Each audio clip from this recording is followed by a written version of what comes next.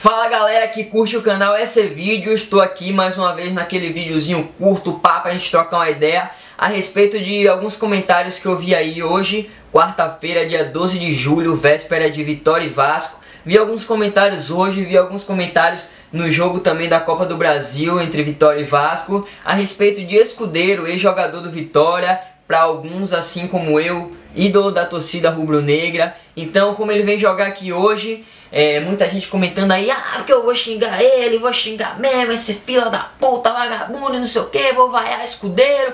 E é uma parada que eu discordo totalmente, sacou? Eu acho que Escudeiro é um jogador que, enquanto esteve aqui no Esporte Clube Vitória, sempre honrou a camisa, sempre se esforçou muito pelo clube, então eu acho que a gente, é, é, a gente deve para ele o mínimo de respeito, sacou? Não acho que Escudeiro hoje deve entrar em campo e a gente deve aplaudir e falar ah, Escudeiro, mito, mito, não acho isso, mas eu acho que a gente deve o mínimo de respeito pelo, pela consideração que ele sempre teve com o Esporte Clube Vitória, apesar de sua saída conturbada é, sempre rolam esses problemas entre empresário, dirigente, é, entre o clube e o atleta, mas isso é normal no futebol. O que importa é em campo, enquanto ele esteve aqui, sempre se esforçou. Uma coisa que é muito difícil de se ver hoje no futebol. Eu sei que muita gente pensa, ah, mas ele ganha milhões por mês, ganha não sei quantos mil e tal, então é não faz mais que obrigação. Eu sei, eu concordo, mas hoje no futebol é muito difícil de a gente encontrar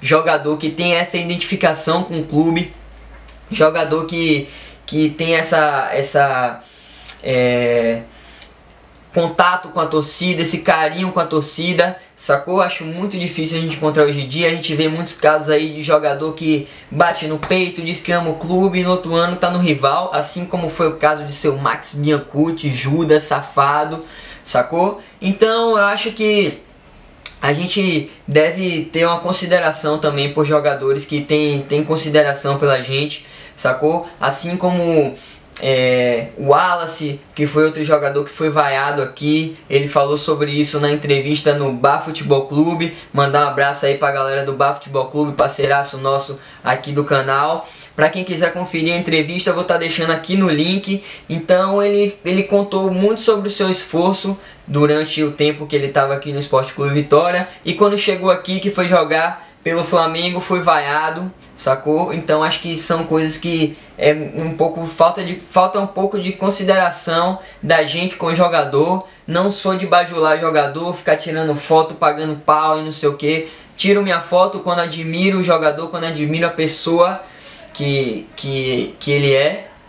Assim como tenho foto com o escudeiro ali no, naquele quadro, sacou? Então eu acho que a gente não deve vaiar escudeiro hoje. Hoje, Vitória e Vasco às 9h45. Jogo muito importante pra gente. Se a gente ganhar, a gente provavelmente sai da zona de rebaixamento. A depender dos resultados, a Sardinha também vai tomar pau hoje, sacou? Então é isso, é uma opinião minha, não tô aqui julgando os comentários que eu vi, não tô aqui para julgar ninguém, tô aqui só para trocar uma ideia com vocês. Então é isso. Hoje, vamos que vamos, mais um vlog representando aí nas arquibancadas e tamo junto. E se você quiser fortalecer o canal, quiser ajudar a gente aí a viajar para outros estados para assistir jogos fora, no, na página DC Vídeos tem lá a camisa nova desse vídeo, se você ainda não conferiu.